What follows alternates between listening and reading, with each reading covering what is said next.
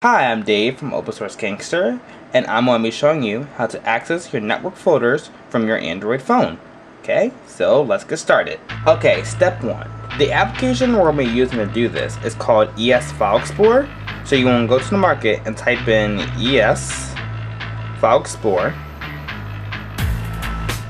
Then I already have it installed, but you go there and click install down the bottom. Course, I already have installed and then give it a second for it to install. This application is the best one I use for being able to access your network and it works really well. Okay, now that you got ES File Explorer downloaded and installed, first you want to make sure your Wi-Fi is on. So check to make sure Wi-Fi is on because hence wireless network folders, so it only work on the Wi-Fi network. Okay, so once you know your Wi-Fi is on, we're going to go to ES File Explorer and open it. Find it among list applications here we go. Open it. Okay, so when you open it, you're going to come to a screen that looks like this. Uh, this shows all your file contents and all, and yes, this is File Explorer, so you can test that if you so please to.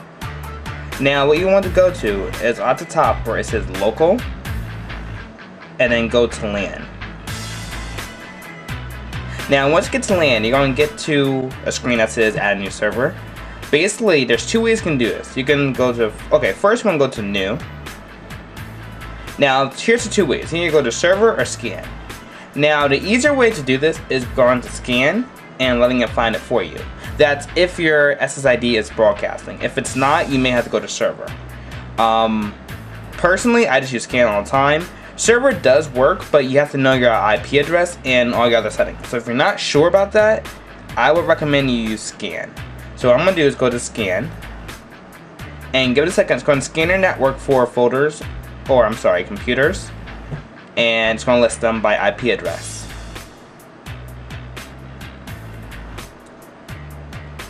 So right now we only have two computers on our network that's currently on. So it's, listing two computers. Um, one's my computer, one's in the other computer. Um, so yeah, what I'm going to do is go to one computer. And basically it's showing all the network folders, uh, for example, share network documents and I can access all the files that are in this folder, which is really neat. And obviously, if I put something in this folder right now, or even if I go downstairs or to where this computer is at and put something in a folder, it'll load up right up here. So basically, this is how to access your network documents on your Android phone. It's real simple and easy to do, and I hope you enjoy this. Okay, thanks.